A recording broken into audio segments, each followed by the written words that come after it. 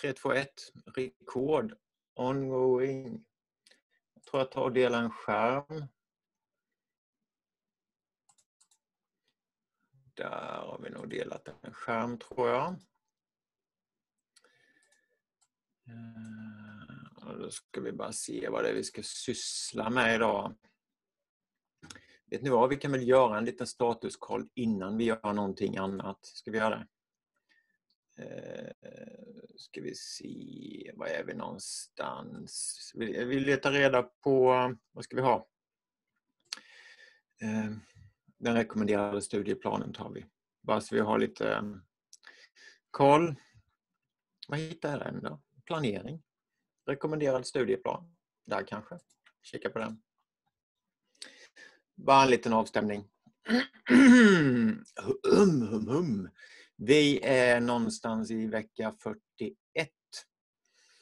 Planen är således kursmoment 6 där Niklas startade igång igår. Och förhoppningsvis har han coachat till lite för att komma igång med den eh, laborationen. Grunderna i POP, PDO, hur man gör insert, update, delete. Ah, ja. Där är vi i alla fall. Ehm, jag har inte jättekoll på rättningsstatus, jag kanske ska kolla det.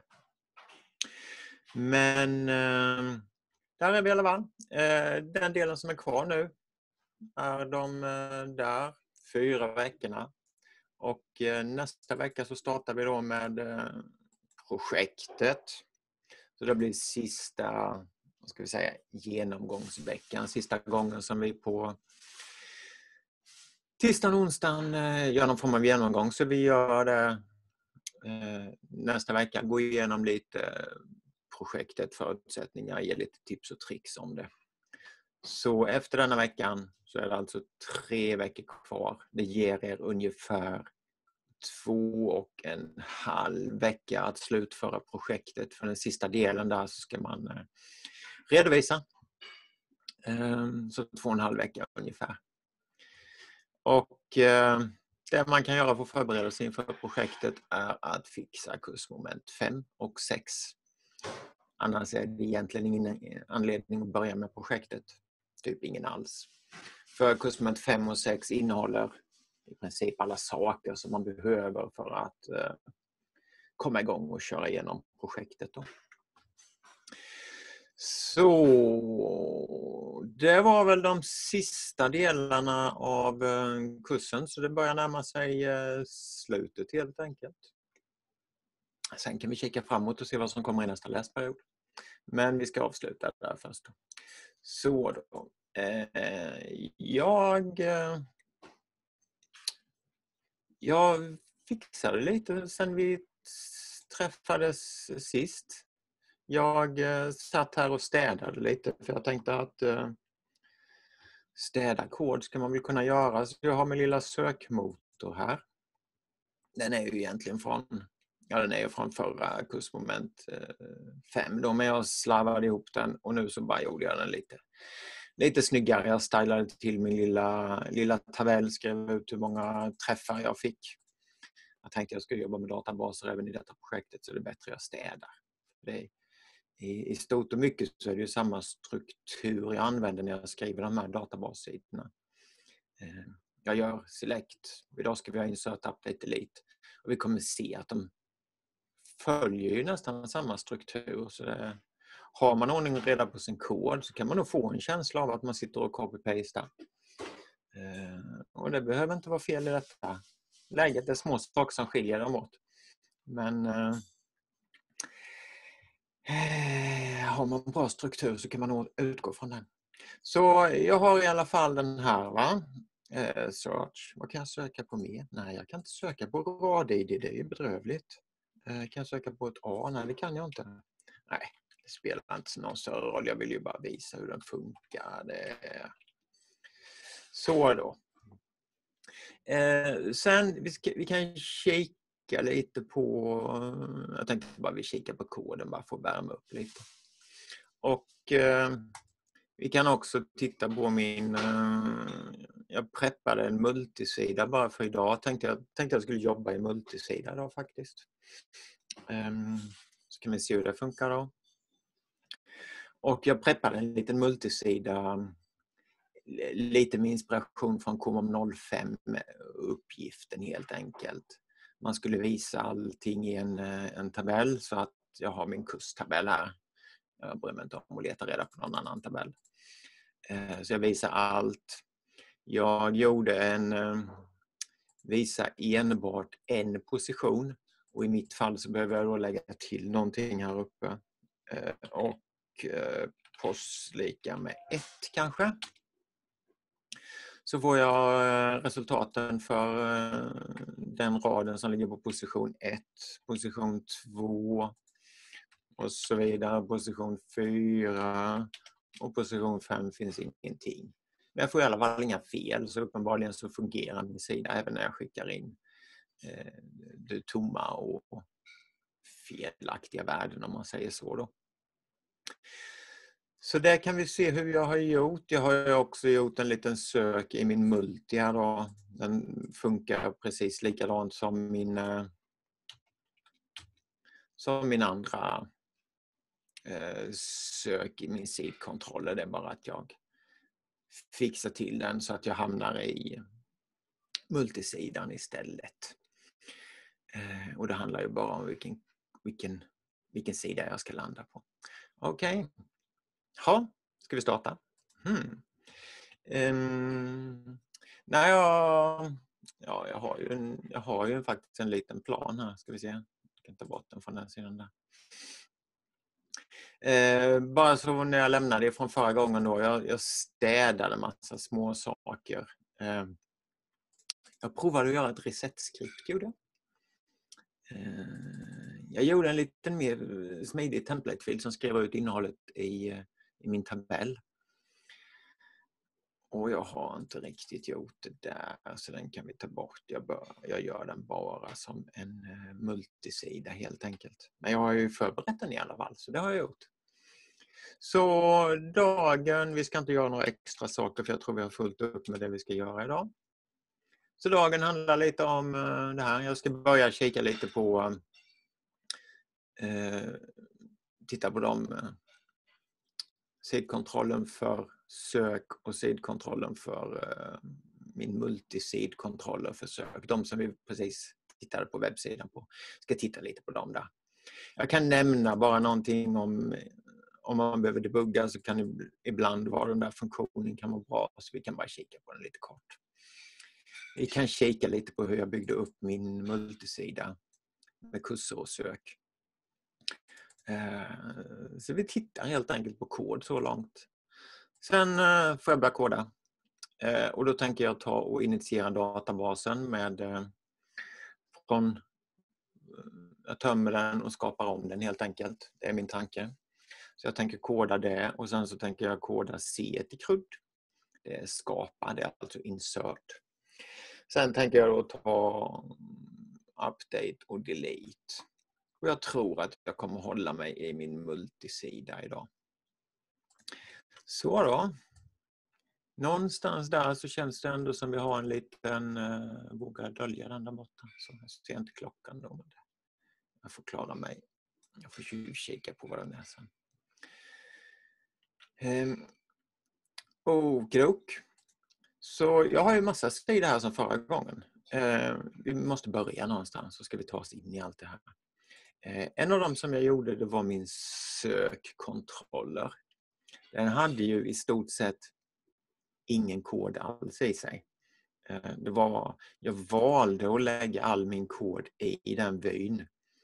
Eh, rent krasst kan man fundera på om det är bra eller inte. Man kunde lagt koden här i denna och bara låtit vyn vara en så kallad dum vy, att den bara skriver ut resultatet som kommer. Men nu gjorde jag så att den vyn var lite mer intelligent så jag gjorde massa operationer i den. Så vi får väl gå ner och se vad det var jag gjorde där. Eh, där har jag nog min sökvy. Så här hade jag ju en massa saker vi kan se. Eh, vet ni vad? Jag ska bara ta och städa den. Det blir så mycket kod. Så om jag tar och bara sparar undan den, pre 06 kallar jag den. Jag lägger den där. Och så kan jag gå in här i denna. Så äh, nu är jag lite elak för nu tar jag bort kommentarer. Det kanske inte var så snällt, men jag gör det i alla fall. Då. Äh, där. Bara slår ihop det lite. De här debugging-sakerna är ju faktiskt väldigt bra att ha egentligen. Äh, ibland vill man skriva ut dem när man felsöker. Ska vi se om jag kan göra det bara på min sida nu. För då är jag ju där. Va? Och så söker jag någonting. Så om det av någon anledning, det är många som, eller en del i chatten och allmänt, att man inte får någon utskrift eller någonting. Och eh, här ska vi se om jag kan få någon utskrift med hjälp av det där. Jag kan ta bort den där, jag kan ta bort den där. Jag hade mycket fel. Där hade vi den där för att göra. Den kan jag också ta bort för tillfället. Så, jag städar lite. Eh, parram. Så jag bryr mig inte om. Så kör vi. Så där har jag nu då någon, eh, vad ska vi kalla det? Eh, ett sätt att skriva ut det som händer. Och den där funktionen är inbyggd. Den kan man göra då på ett statement. Och den dumpar egentligen SQL-delen. Den dumpar också information om de parametrarna som man har skickat med. Här skickar jag ju med två parametrar för det här är min sökmotor. Då. Um, så. så vi kan väl se om jag kan skriva ut någonting där. Jag bara laddar om sidan, ja, ja. Um, så från den här debug funktionen så kommer den här informationen ut. Så man ser egentligen själva SQL-frågan, vilket kan vara intressant. Se om man har skrivit fel. Eh, man ser väldigt uppenbart de parametrarna som man har skickat in i SQL-frågan. Och sen kommer det en del som debuggar som säger vilka parametrar som själva som eh, statementet känner igen. Då. Den ger inte värdena på parametrarna i detta fallet utan det får jag dumpa ut själv så jag kan se vilka parametrar jag skickat in.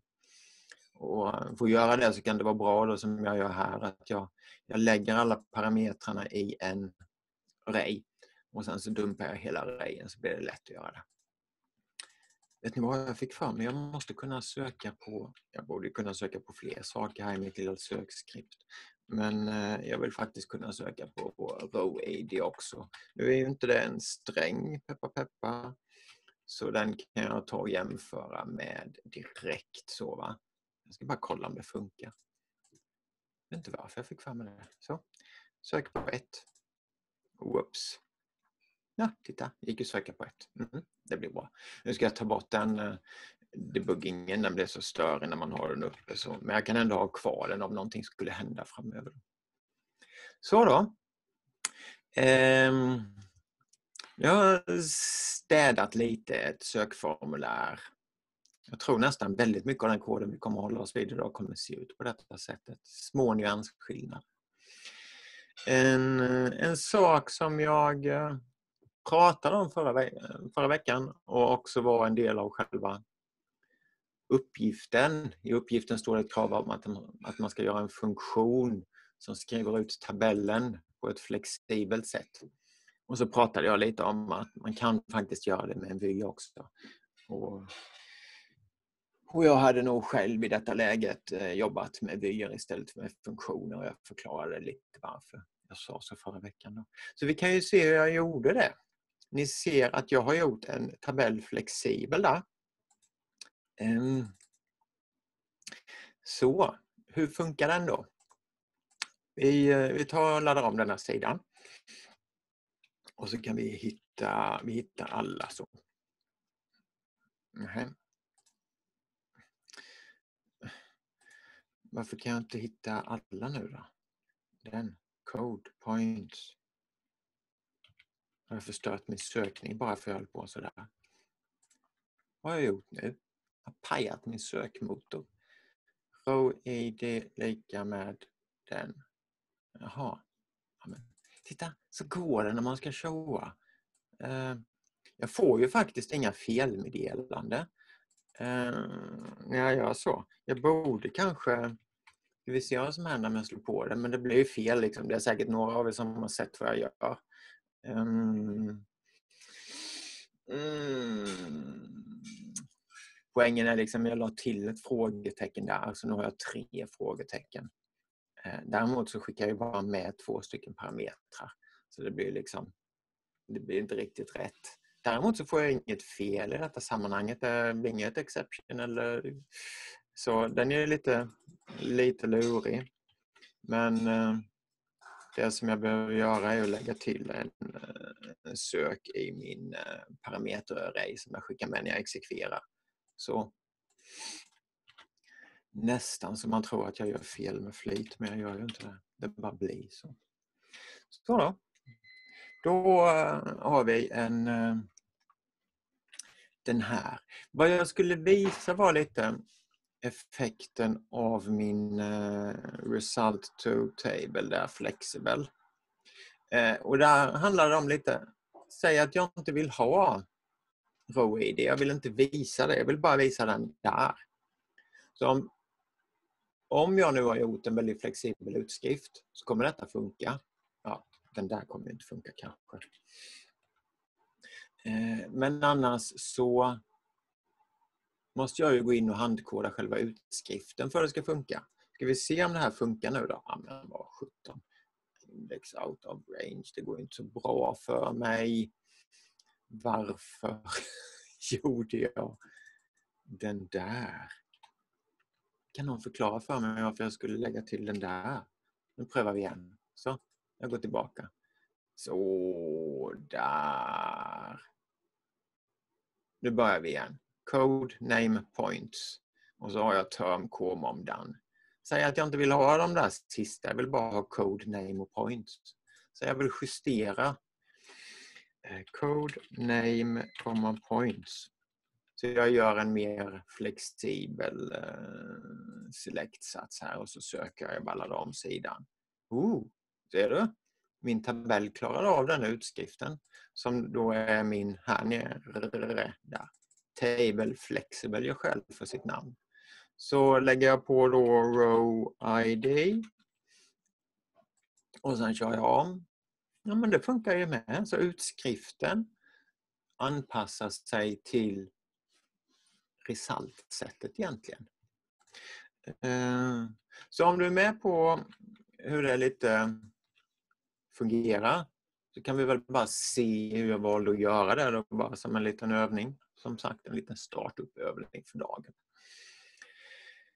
Eh, flexibel, då kan vi nog ta och så börjar vi helt enkelt och lägga upp den som inte var flexibel. Det var ju den. Så där gör man ju kanske en utskrift till en tabell. Då. Här kommer ett, ett result in här. Och man hårdkodar vilka kolumner man ska skriva ut. Och så finns det då ett resultset som eh, skriver ut, loopar igenom hela resultsättet och skriver ut hårdkodat vilka saker är det. är. så det är, det är en liten sån problemlösning. Om man tittar vad som ligger i min dollar S och så funderar man, okay, finns det något sätt som jag kan jobba med den? Eh, kan jag jobba med den på något sätt för att Okay. okay, jag var dumpat inte men jag skulle vara dumpat dollar S och så tittar jag på den. Kan jag, kan jag göra någonting så jag får den här liten eh, tabellutskriften lite mer programmatisk? Eh, så ehm, ja, det kan vi se. Vi kan helt enkelt plocka upp den där flexibla varianten och så kan vi kolla hur den ser ut. Så där har vi det då. Ehm, vi kan ta och eh, kika på själva resultatet. Nu tror jag att jag kan dumpa ut det där.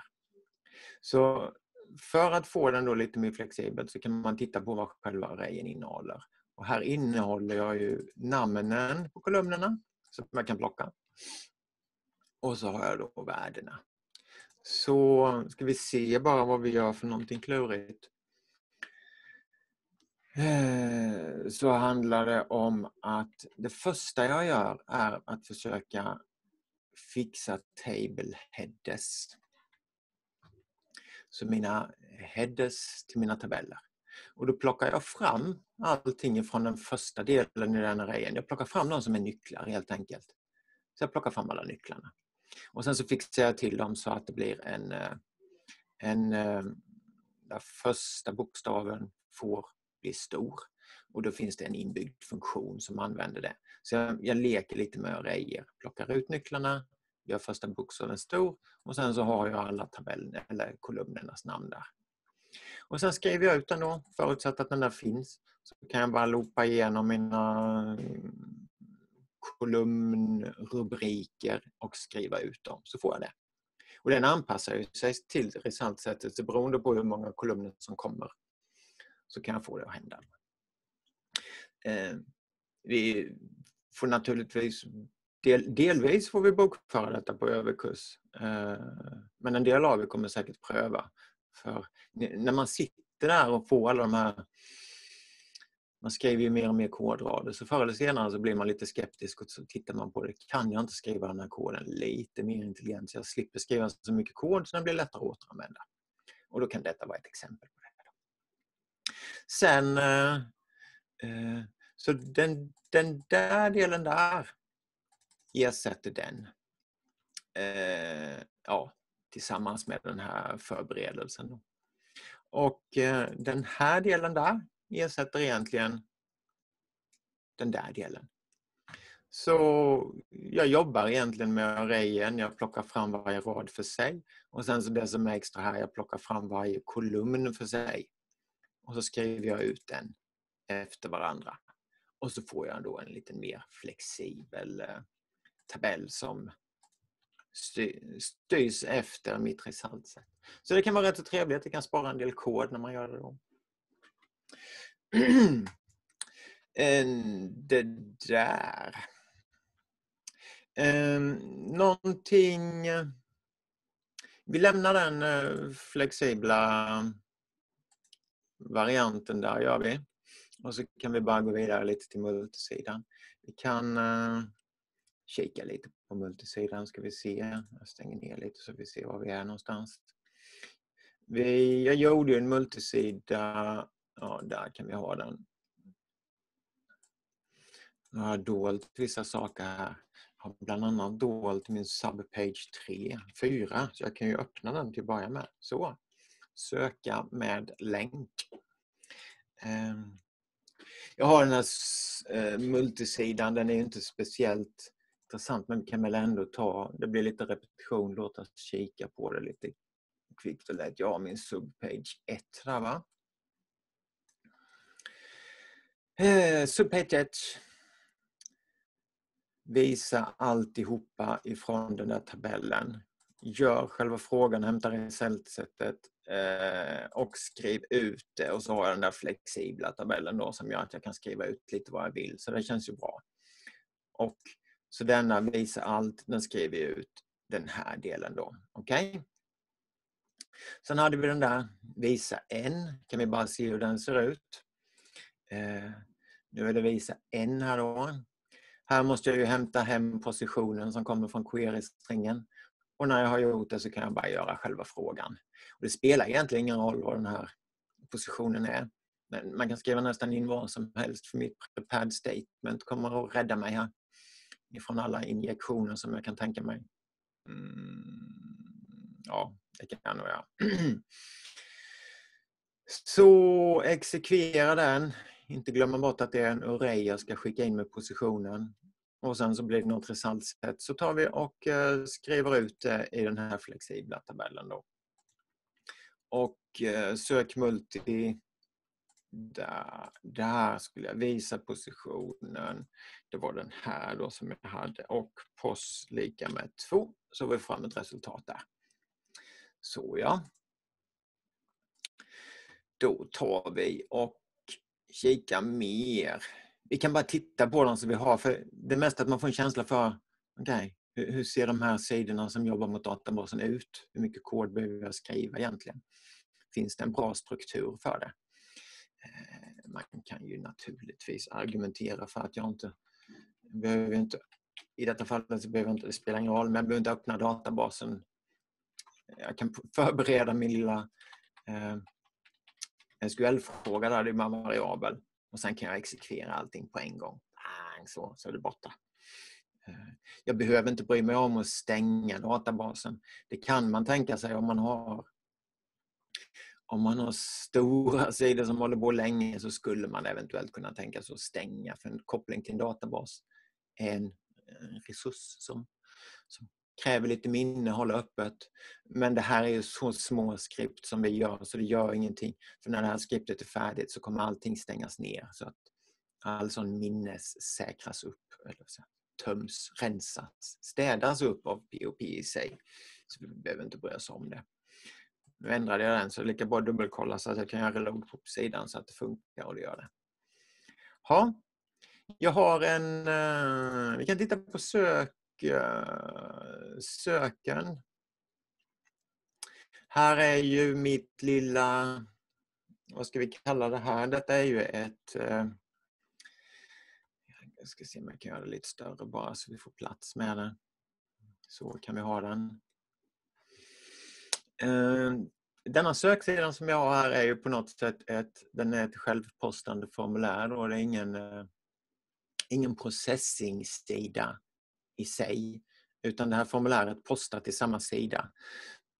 Som det eh, skrivs upp på. Eh, ni ser, jag har, jag har varken någon eh, method eh, eller action här i, min, eh, i mitt formulär så att då är det ett get-formulär och den postar till sig själv. Eh, så när jag är på denna sidan, klickar på sök så kommer den att postas till sig själv, eller hur? Liten sanning med modifikation eftersom vi nu är på en multisida då. Och de flesta av er har säkert klurat ut tricket. Hur kan jag posta till en specifik multisida? Um, när jag har ett get-formulär. För det funkar ju inte att det funkar inte riktigt att skriva att page ska vara lika med sub page 3 här. Det funkar om jag hade haft en method som var lika med post. Men det har jag ju inte nu. Jag har ingen method som är lika med post. Så jag har en method som är lika med get och den skriver om hela query-stringen när jag postar formuläret. Så det sättet jag behöver göra för att hamna på rätt sida, det är att lägga till ett, ett dolt, Eh, en dold del i själva formuläret så att jag får page lika med subpage 3 i själva query-stringen. För query-stringen byggs ju upp av alla input-element som jag har på sidan. Så då. Um, jag har inte förstört någonting här nu va? Det är ett, själv, ett self-submitting form är det vi har framför oss. Eh, första gången det kommer till formuläret så kollar den inkommande variabler. Eh, den gör bara databasdelen om Eh, om den här search-delen är satt, vilket betyder implicit att eh, formuläret är postat, då gör den bara det. Annars gör den ingenting, utan då går den bara ner här och skriver ut saker. Och Då kan jag ju ibland behöva ha någon liten dubbelkoll på att jag verkligen, om jag inte har ett result-set, vilket betyder att jag kommer till sidan första gången, så kanske jag inte ska skriva ut min, eh, min fina flexibla tabell. Då. Så då. Eh, så min lilla sök som sagt var går till samma sida och gör inget speciellt med den. Så där. En sak som man skulle göra i eh, kursmoment 5 som, som kan inbringa en del huvudvärk, speciellt när man jobbar i en multisida då, är ju hur man ska kunna söka med en länk. Så jag gjorde den där bara för skojs skull, för jag behöver den nu nämligen, nu när jag ska jobba tänkte jag. Jag ska, jag ska behöva min lilla kruddgrej här så vill jag kunna navigera på ett smidigt sätt mellan de olika itemen. Så då behöver jag den här. Nu kan vi inte riktigt se längst ner. Jo, där kan vi se. Om vi tittar längst ner till vänster i min lilla skärm eh, så kanske man kan se hur de där länkarna blir då. Det innehåller både en subpage, i detta fallet subpage 2 och position 3. Då. Så om jag klickar på den där så börjar jag komma till designkursen här, visa en designkurs. Eh, page är lika med subpage och position 3. Så har man bara lyckats bygga den här visa en-sidan så handlar det egentligen bara om att, ska vi se, subpage 4 har jag där, subpage 4, jag kan lägga den här istället. Så är det en precis likadan eh, copy-paste för allting som har med sökgrejerna att göra. Och egentligen är det bara den här själva vyn som nu behöver visa upp en länk som man kan navigera runt omkring. Eh, och den är ju inte, ja, nu när vi ändå pratar om det så får vi väl ta upp den med. Då. Eh, så då, då, sitter jag med min sån här, eh, nu ska vi se, vad har jag för min... Eh, jag har min, eh, min sån här oerhört flexibla eh, tabellutskrift. Och så funderar jag, kan jag använda den på något sätt för att göra även länken då? Och ja, det kan jag göra. Eh, men då får jag på något sätt skicka in parametrar för att säga vilken av de där som ska vara som, som ska länkas upp. Så jag behöver göra det lite mer komplext. Och då valde jag helt enkelt, nej, nu tar jag och hårdkodar det här. Så då gick jag tillbaka till min hård, hårdkodade tabell som vi såg innan. Och så la jag dit den delen då som var, eh, eh vad ska vi kalla, central Eh, Eh, där page är lika med subpage och unpos är lika med row id. Där är ju själva länken som jag lägger till då för att den ska kunna länka till rätt, rätt sida. Då. Ja, men eh, det där får väl vara bra va? Jag bara dubbelkolla vad 47. Eh, det där var ju bra. Så jag har gjort lite andra subsidor där med nu. Visa alla med länk. Det kan ju vara rätt så bra när man ska navigera runt här då. Eh, så jag slipper söka fram dem. Det kan ju vara rätt så trevligt. Eh, det är ju bra. Okej, okay. nu eh, ska vi ta och börja med dagens lilla övning då ska vi se om vi kan sätta igång. Vet ni vad? Eh, låt mig göra en, en ny sida. Jag börjar från scratch. Gör jag. Så grejen är att jag ska göra en initierad databasen tänkte jag. Och eh, Um, tanken nu när vi ska lägga till och ta bort saker och sånt så, så gör man ju databasen, man pajar ju den för man ska kunna jobba med den på ett smidigt sätt så behöver man initiera den från början. Och då vill jag ha ett skript som gör det så att jag snabbt och enkelt kan uh, få det att hända. Så frågan är om vi kan nu ska vi se, vilken ska jag utgå ifrån? Jag kan väl ta och utgå från den där kanske. Och så duplicerar jag den och så gör jag subpage där 66. Kan vi lägga den här någonstans så vi har någonting att börja. Så eh, nu ska vi se då. Initiera databasen. Nu tänkte jag att jag skulle koda eh, resten av dagen så ska vi se hur bra det går för mig då. Eh, nu ska jag initiera databasen. Mm, då är frågan hur jag ska göra det. En sak som är viktig i alla fall är att jag ska ha ett eh, formulär med en, eh, en eh, submit-knapp när jag gör det. Submit eh, Eh, name lika med, eh, vi kallar den do it, brukar jag göra och den kan ha ett värde som heter någonting. Ska den ha? Eh, initiera databasen spelar inte så stor roll men det blir tydligt i alla fall vad den gör. Och så slutar vi med formuläret där. Nu ska vi inte skriva ut någonting på den sidan för det behöver vi inte göra. Då. Så jag ska ha en knapp som initierar det här. Vi kan bara se att någonting händer när jag initierar. Så, så där vill jag ha. Och Grejen är att jag vill att när jag gör ändringar till databasen så ska jag alltid göra det med postformulär. Alltid postformulär. Aldrig getformulär.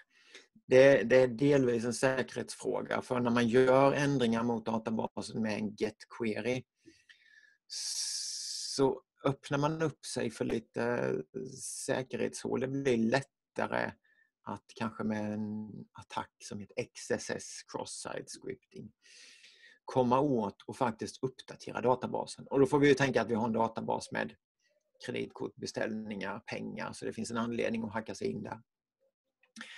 Och för att vi då ska undvika den säkerhetsdelen så ser vi till att alla uppdateringar mot en databas går alltid via post. Så då gör vi en post där. Så då måste vi ha en... Eh, frågan är... Jag hade ju en söksida som jag kanske kan inte använda sakerna jag har gjort här. Eh, jag tar och lånar... Jag lånar den där. Ska jag göra det? Ja, vi kan se. Nej, jag tar låna den där delen. Ja, ja, så ska vi bara se vad det är. Mm, nej, det behöver inte. Jag skriver. Vi får se hur bra det går när Mikael skriver sin lilla kod. Um, nu kommer vi till den här sidan och då ska det bara... Jag ska bara exekvera saker när, eh, när sidan är postad. Och då har jag ju mitt lilla do-it-sekvens. Frågan är vad min do-it är för någonting i detta fallet då. Och nu ska vi inte ta den connect to DB, den ska vi göra där inne. Så där ska vi göra. Så. Så frågan är vad min do-it är. Den, eh, jag använder ju den för att dubbelkolla om formuläret är postat. Och om för om Dollarpost innehåller en, eh, en do it-knapp, blir det. När man klickar på den så får den ett värde som innehåller ett värde. Där. Eh, så när den innehåller det värdet så är formuläret postat. Och eh, då ska jag gå in i eh, då får den ett sant värde, då går jag in där och så gör jag själva frågan. Sådär va. Det ska vi göra. Nu är då frågan vad jag ska göra här. För nu ska jag initiera databasen. Så vad handlar initiera databasen om? Jo, då behöver jag ju ta och leta reda på mina gamla SQL-skript som jag hade. Jag skulle kunna lägga dem där borta. Jag hade ju något setup-skript som, eh, som gjorde lite saker. Så det första jag på något sätt behöver göra är ju att eh, dollar SQL är lika med den där satsen kanske. Eh, men nu måste jag göra många satser här. Så jag behöver ju göra flera satser för att tömma databasen. Jag behöver mm, droppa tabellen, skapa tabellen, Eh, jag behöver eh, lägga in, göra massa in, in, insertsatser. Så frågan är hur jag ska göra detta. Och nu tänkte jag faktiskt göra så här att jag gör till och med en... Ska vi se om vi kan göra detta till en array av SQL-satser. Så nu har jag gjort en array. Ska jag vara explicit så kanske jag ska säga till att det här är en tom array nu då. Det kan jag göra. Det hade kanske funkat ändå. Men jag, jag tänker mig att jag gör en lång lista av SQL-satser som jag ska exekvera nu. Då. Så då tar jag de här första satserna först.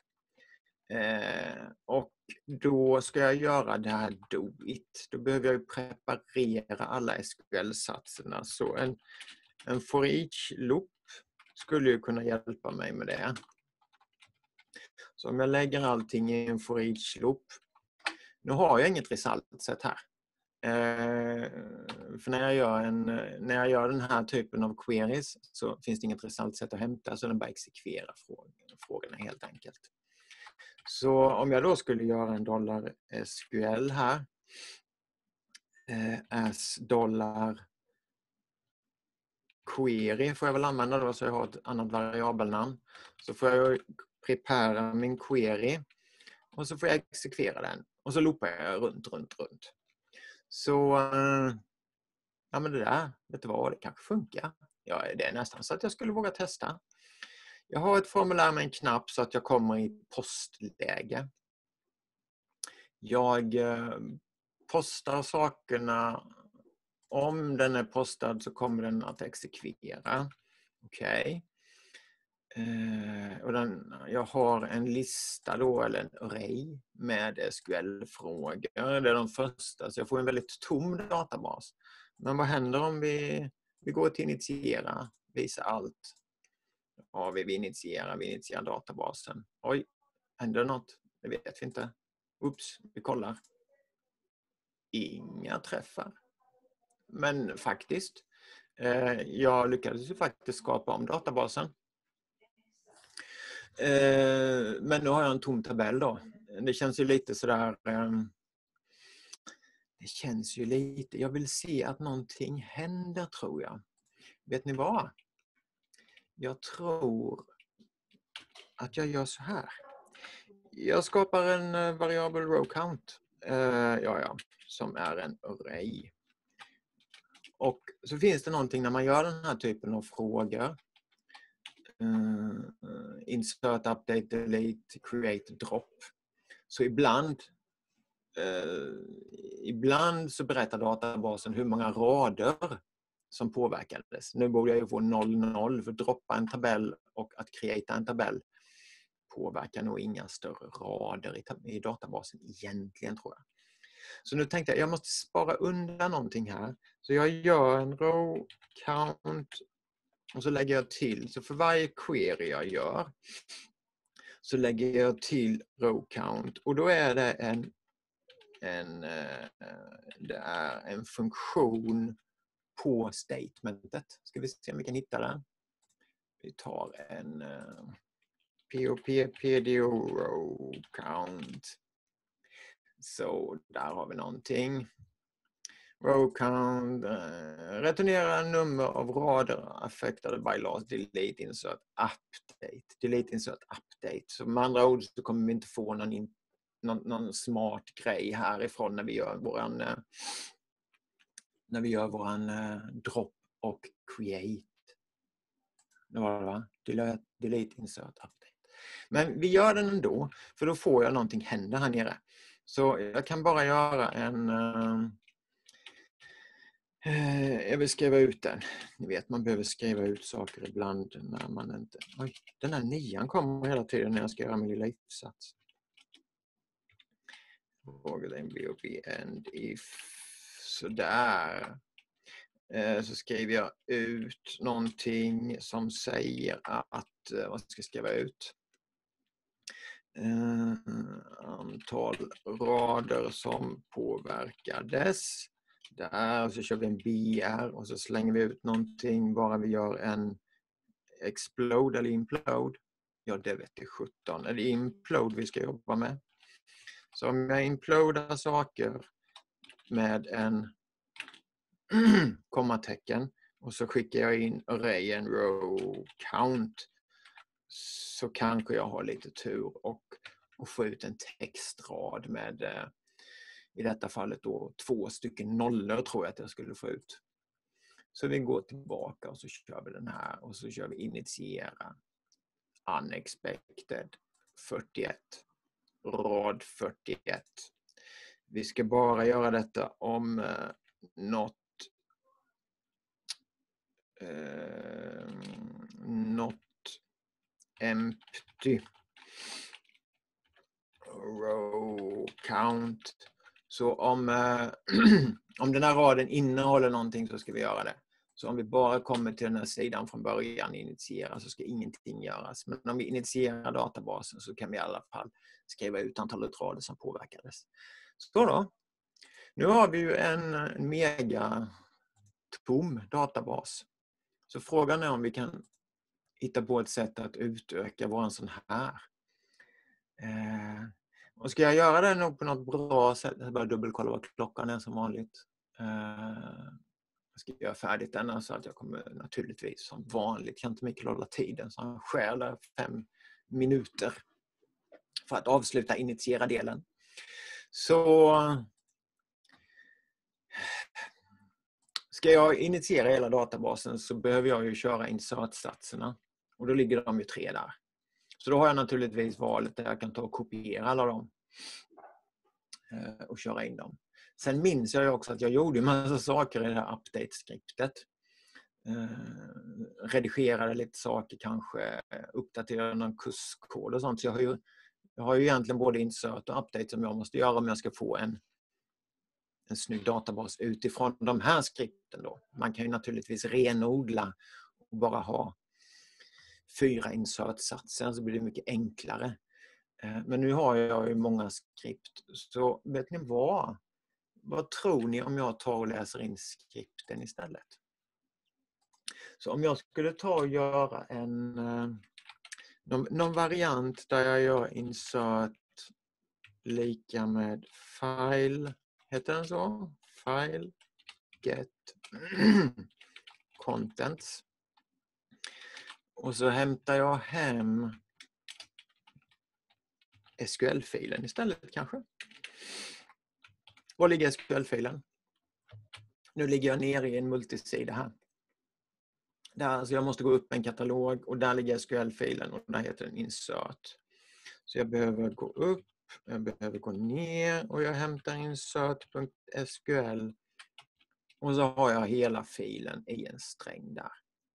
Nu vill jag splitta upp den här strängen i en array, för jag har ju en SQL-array.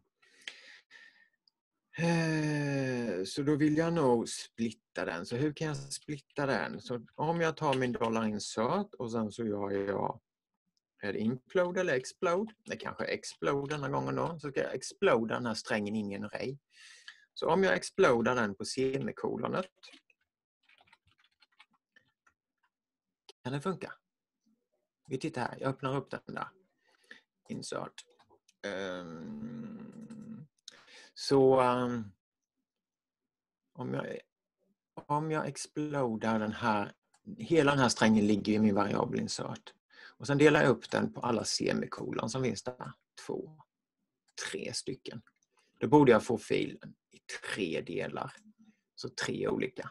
Och kanske Eh, och så delar jag upp den och sen så vill jag lägga den då till SQL-arrayen. Så om jag tar någonting som heter kanske array merge kanske. Skulle det kunna vara att array merge kan slå ihop två arrayer. Då börjar jag med SQL-arrayen och sen så tar jag insert-arrayen. Ja, om jag nu har lite tur då så ligger allting i min SQL-array. Eh, är jag osäker så kunde jag vara dumpat den. Men eh, nu tänker jag helt enkelt bara köra på. Så jag tänker initiera databasen. Och nu fick jag då 00 som jag hade från innan och så fick jag 1, 2, 3, 4 stycken. Då kan vi klura på vad den fjärde är. Skulle det kanske kunna vara en tom rad längst ner där? Där skulle kunna vara... Oj, där är den första. Inklusive de eh, minus minus kommentarerna, de spelar ingen roll. Där är den andra. Där är den tredje och kanske där är den fjärde. Då. Det gör inte så mycket nu, jag skulle kunna titta på det. Men grejen är att det fungerar ju att initiera databasen på detta sättet. Och helt plötsligt har jag då fyllt på den. Vi eh, skulle ju som en eh, liten sista del kunna ta att även göra en eh, dollar update kanske. Så om vi tar och hämtar in den här update SQL-filen också och exploda på den och, och, och mergar ihop tre stycken arrayer helt plötsligt så får jag en stor SQL-array och sen så exekverar jag alla de SQL-kommandon på en gång. Eh, då borde ju den här tömmas. Jag borde få den där har nog bytt kurskod till någonting PA1437. Visst var det så? Ska vi se. Vi initierar databasen. Massa rader påverkar ser vi. Och så visar vi alla och vi har PA1439 var det. Och alla de här update-grejerna fixades också. Eh, så egentligen nu skulle jag, nu när jag har fått ordning och reda här så skulle jag naturligtvis kunna ta bort de här och inkludera eh, setup på samma sätt.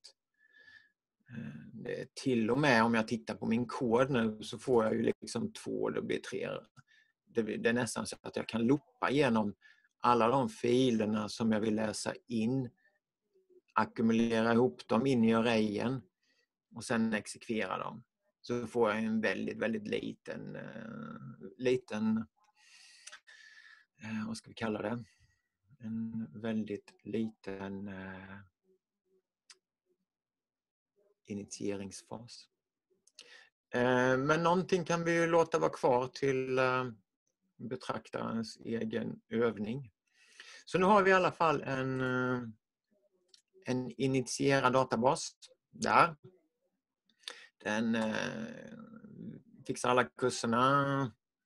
Eh, nu är den ju en, det är ett självpostande formulär, så om jag talar om den här sidan så kommer jag få den här conform form resubmission. Jag bryr mig faktiskt inte riktigt om det nu, för om jag skulle fixa det så behöver jag fixa en, en processingsida. Jag tror faktiskt att jag väntar med det till eh, efter rasten.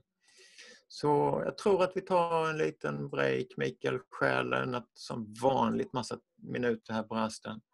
Men eh, vi tar eh, 14 minuter så börjar vi 14 och 20. Och när vi kommer tillbaka då så kommer jag fortsätta i min multisida här och jag kommer göra create, update, delete och jag kommer egentligen bygga vidare på samma samma, samma struktur som jag har på mina subsidor här nu. Då. De är inte så jättestora, det är hyfsat enkelt att förstå hoppas jag. Jag tror till och med jag kan kopiera den här sidan när jag ska göra min eh, första create-del. Så vi eh, stoppar kärren och så tar vi en